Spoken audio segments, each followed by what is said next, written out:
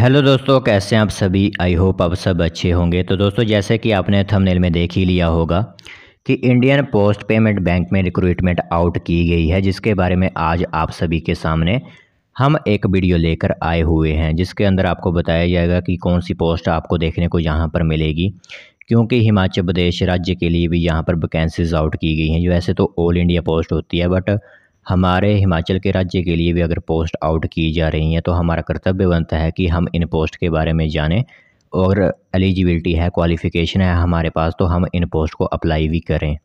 तो पूरी इन्फॉर्मेशन आपको दी जाएगी कि किस तरह आप इन पोस्ट के लिए अप्लाई कर सकते हो, क्या यहाँ पर सैलरी रहने वाली है, अगर एप्लीकेशन फ़ीस है तो वो कितनी होने वाली है, किस कैटेगरी के लिए कितनी एप्लीकेशन फ़ीस रहने वाली है वो पूरी डिटेल्स जो होती है एक एडवर्टाइज से एडवर्टाइजमेंट से संबंधित वो पूरी इन्फॉर्मेशन आपको यहाँ पर दी जाएगी। तो ध्यान से पूरी इन्फॉर्मेशन आप सुनने हैं और जो एलिजिबल होंगे कैंडिडेट्स वो सिंपल अप्लाई भी कर सकते हैं।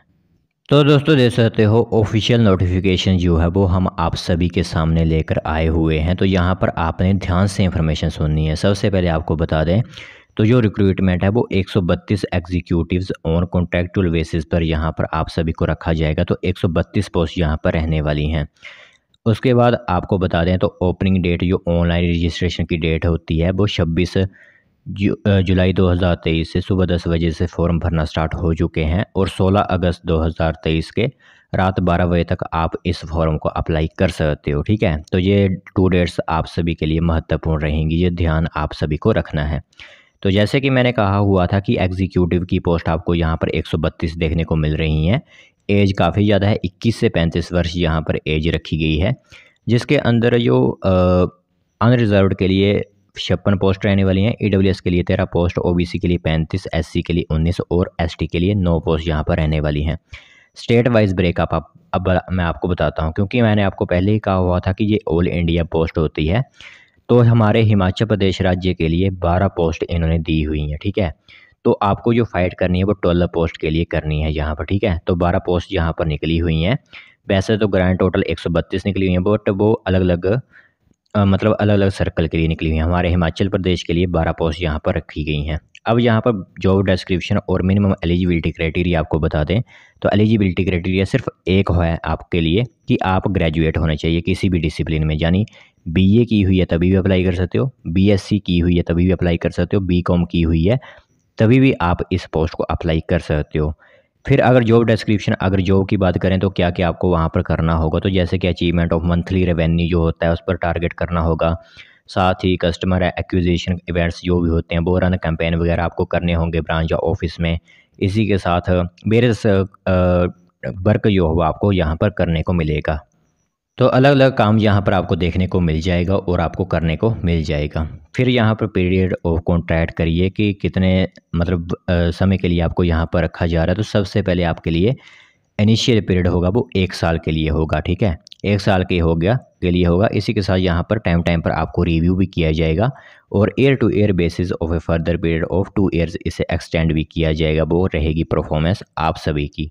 अगर आपकी परफॉर्मेंस ठीक है तो मैक्सिमम ड्यूरेशन तीन साल के लिए तो यहाँ पर आपको रख ही लिया जाएगा और आपके पास काफ़ी ज़्यादा एक्सपीरियंस होगा, जिसके बाद आप वो एक्सपीरियंस लेकर किसी अन्य बैंक में भी अप्लाई कर सकोगे, ठीक है?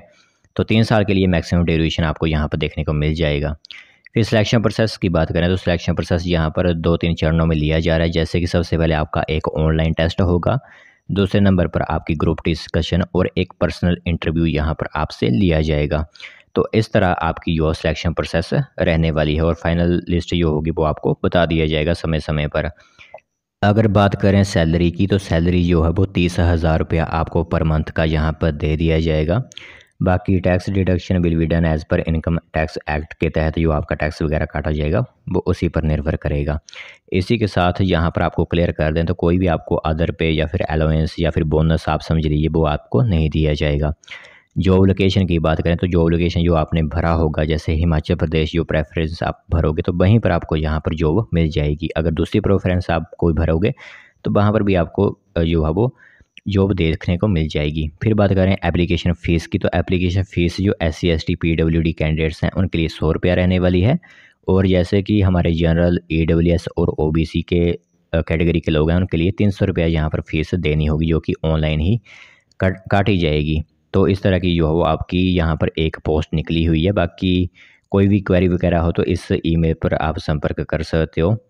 तो हिमाचल प्रदेश के लिए आपको बताते हैं कि किस किस मतलब किस किस ज़िले के लिए वैकेंसी है तो हिमाचल प्रदेश के जैसे कि चंबा में एक होगी देहरा के लिए एक धर्मशाला में एक कुल्लू के लिए एक मंडी के लिए एक नाहन के लिए एक रिकांग के लिए रिकांग के लिए एक शिमला के लिए एक सोलन के लिए एक और ऊना के लिए एक पोस्ट यहाँ पर रहने वाली है ठीक है तो इन सभी ज़िलों में आपको वैकेंसी देखने को मिलेगी एग्जीक्यूटिव की तो इस तरह जो आपकी यहाँ पर इंफॉर्मेशन रहने वाली है तो जो भी इंटरेस्टेड कैंडिडेट्स हैं वो सिंपल अप्लाई कर सकते हैं इस फॉर्म को ठीक है अब दोस्तों, आप सभी को बता देते हैं कि किस तरह आप अप्लाई कर सकते हो। तो आपको यहाँ पर वेबसाइट जैसे कि मैंने ऑफिशियल जो खोली हुई थी सबसे पहले W W W dot I P P B online dot com पर जाकर आप इस फॉर्म को अप्लाई कर सकते हो, ठीक है? तो अभी तक आपके पास काफ़ी ज़्यादा समय है।